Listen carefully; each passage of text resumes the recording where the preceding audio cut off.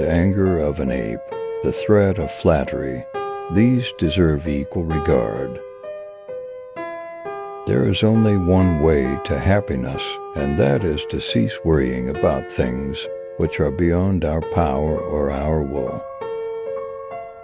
The key is to keep company only with people who uplift you, whose presence calls forth your best.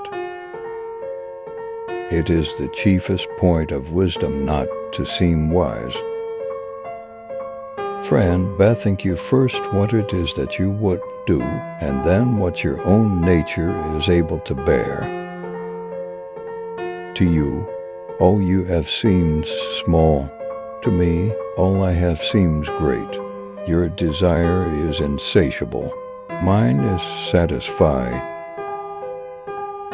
He who laughs at himself never runs out of things to laugh at. From this instant on, vow to stop disappointing yourself. Separate yourself from the mob. In every affair, consider what precedes and what follows, and then undertake it. When you are offended at any man's fault, turn to yourself and study your failings. Then you will forget your anger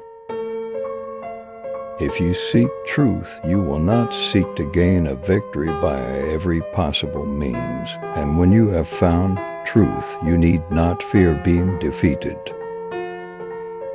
True instruction is this to learn to wish that each thing should come to pass as it does.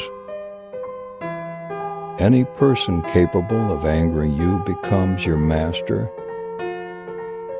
Decide to be extraordinary and do what you need to do now.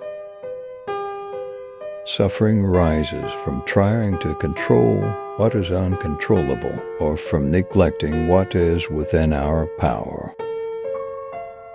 However he may treat me, I must deal with him. This is what lies with me, what none can hinder. The appearance of things to the mind is the standard of every action to man. Books are the training weights of the mind. No matter what happens, it is within my power to turn it to my advantage.